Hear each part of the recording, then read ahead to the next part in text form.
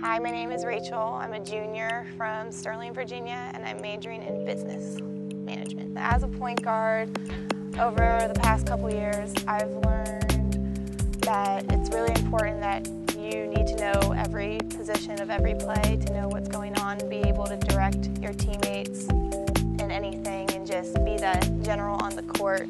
So if anything were to get like fast paced, to just slow things down, help people keep their cool and stuff like that.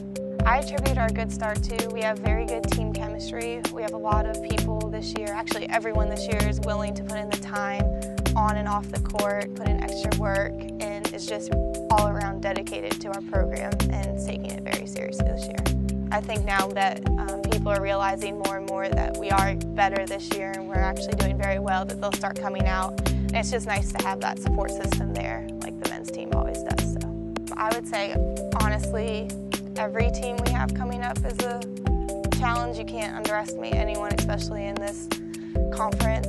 At any given night, anyone's capable of winning. We have a wonderful coaching staff. They are always um, willing to get in the gym and help us out with anything that we need at really any hour that's convenient for us.